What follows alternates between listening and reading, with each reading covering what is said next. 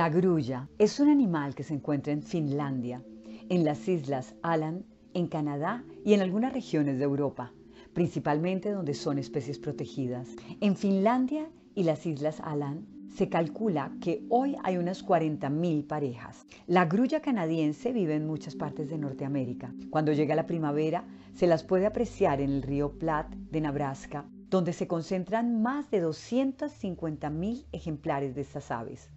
En el suroeste europeo hay una gran comunidad que suele migrar hasta Castilla-La Mancha y sus cercanías. La grulla es un ave de cuerpo delgado y largo que proviene de la familia Gruidae, del orden Gruiformes. Vive en zonas de pantanos, lagos y ríos, donde los espacios son abiertos y tienen la libertad de caminar de un lado a otro con sus largas extremidades.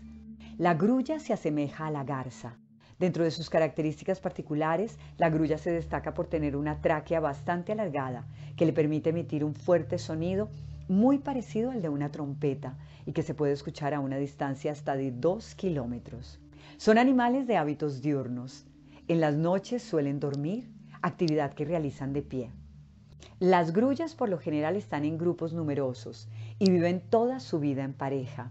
Son aves migratorias sienten la necesidad de migrar cuando entran en periodo de apareamiento y para reproducirse. Para esto buscan lugares tranquilos y solitarios.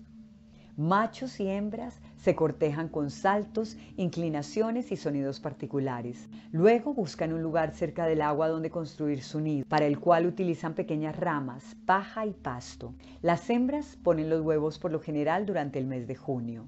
Estos suelen ser de 1 a 3. La pareja los incuba junta hasta que nacen los polluelos. Estos abandonan el nido desde el momento que salen del cascarón. Sin embargo, tardan entre 60 y 70 días para aprender a volar. Sus principales características físicas, aparte de su largo cuello, son sus patas de color negro con tres dedos largos adelante y uno corto atrás que no apoyan el suelo.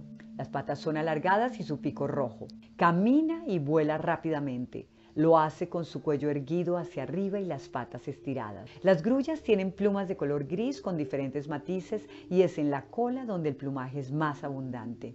Otra de sus particularidades es que poseen un aparato respiratorio amplio, lo que les permite pasar aire hasta los huesos. Estos espacios de aire pueden alcanzar unos 1.7 metros de longitud. Su peso oscila entre 4 a 6 kilos.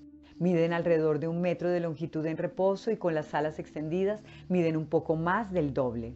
En cuanto a su dieta, la grulla come de todo un poco. Suele alimentarse con productos como semillas, frutos y bayas.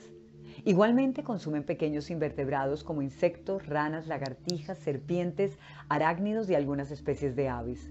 En la época de reproducción, las grullas buscan alimentarse con vegetales, raíces, tallos, tubérculos, semillas, frutos y hojas de diferentes plantas. Completan su alimentación con proteínas que les procuran las presas de los lugares donde se encuentran. Durante el periodo de hibernación, la grulla suele alimentarse de bellotas y luego buscan los granos del cereal que quedan al pasar la cosecha. Pueden ingerir caracoles, legumbres, lombrices y algún vertebrado. La migración la realizan desplazándose en numerosos grupos y hacen bastante ruido con su sonido característico. Entre los meses de agosto y octubre salen de Finlandia y vuelven entre marzo y mayo. El invierno lo viven en parte de Europa, África y Oriente Medio. Las grullas son las aves que alcanzan más altura cuando vuelan. En una semana las grullas pueden recorrer hasta mil kilómetros de distancia. Toman una velocidad de hasta 60 kilómetros por hora y no se detienen aunque esté lloviendo.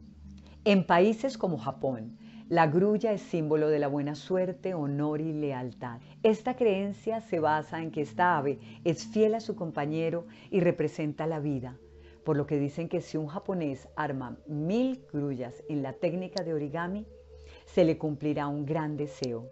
A la grulla se le llama también ave de la felicidad, la grulla celestial y el ave de la paz, porque al término de la Segunda Guerra Mundial en Japón, la figura de la grulla hecha en origami pasó a representar la paz y la esperanza. De nosotros, de nuestras pequeñas acciones y de nuestra responsabilidad, depende que la grulla, ave de la felicidad, no desaparezca.